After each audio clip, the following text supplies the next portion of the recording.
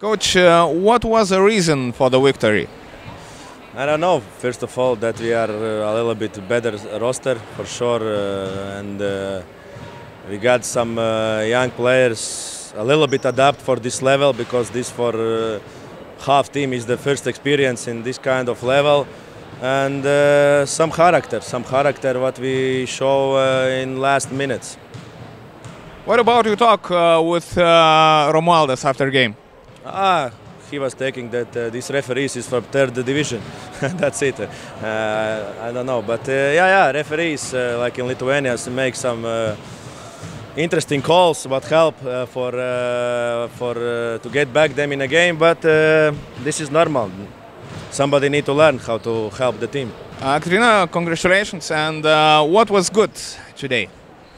Thank you. First of all, um, good was uh, that we run it. We know that they were only eight players, and uh, we pushed the ball forward. That was the main point. And uh, what are your uh, memories from uh, this town, from Šiauliai?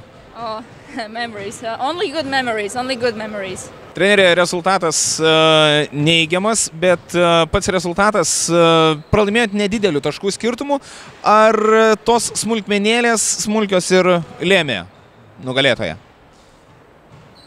Manau, nenusipelnėm šiandieną laimėti, dėl to, kad žaidėm pametusios galvas. Pilna to žodžio prasme. E, Susifokusavimai keičiant gynybą. Dvi išgirdo, trys ne. E, Polime, palaida bala, aišku, čia daug pykti negali, nes neturim ryškiai išreikšto pirmos pozicijos žaidėjos. E, Tikrai, tikrai neturim bandom ieškoti, bet, žinot, galimybės mūsų nėra plačios. Visą kitą, dėl, dėl to, kad sugriuvo žaidimo planas, aišku, galėjom išsigelbėti didelių pastangų dėka. Kombeką pasidarėm, tą susibaudavom, kur reikia, pabaigoje reikia pagirti, bet, bet to neužteko. Jeigu būtumėm ištempę bent ant, ant pratesimo, nu, sakau, nenusipelnėm laimėti, tikrai ne. Nu, ką darysi, būna.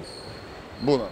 A, Merginas, e, kokius treneris akcentus sudėliojo per pertrauką, nes e, po pertraukos gynybą pakeitėt ir gynyboje atrodėt žymiai geriau.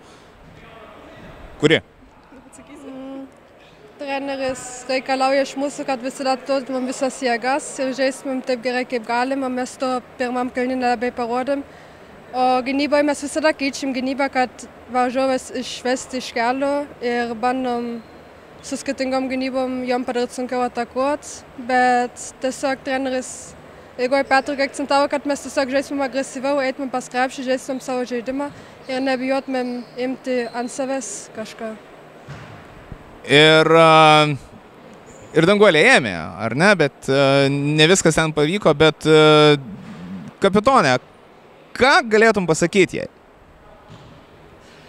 Aš manau, kad merginos tikrai stengiasi ir, ir buvo dalykų, kurių nepavyko, bet buvo dalykų, kurie tikrai pavyko. Taisysime klaidas ir stengsime, kad būtų dar geriau.